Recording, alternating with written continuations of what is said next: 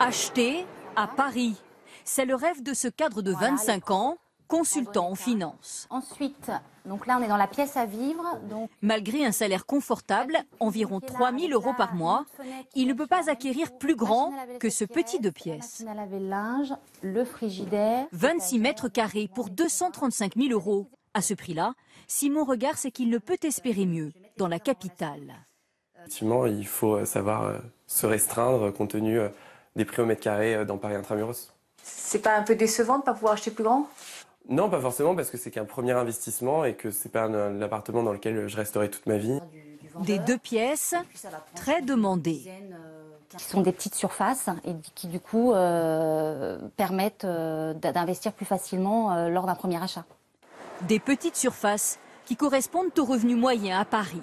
3 400 euros par foyer et par mois. De quoi emprunter 220 000 euros pour un 26 mètres carrés.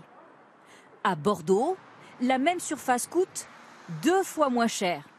Exemple, ce grand studio, une belle pièce à vivre avec balcon.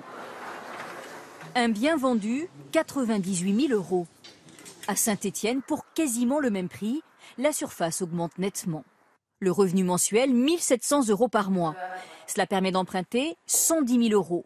Le propriétaire disposera alors de 80 mètres carrés. Dans certaines villes, contrairement à Paris, nul besoin d'un pouvoir d'achat conséquent. Les prix de l'immobilier viennent un peu gommer des inégalités de salaire, puisque euh, dans des villes comme Saint-Etienne, on va avoir une bien meilleure qualité de vie en termes de surface habitable qu'on ne peut l'avoir à Paris. Des écarts entre les villes qui se sont creusés ces dernières années.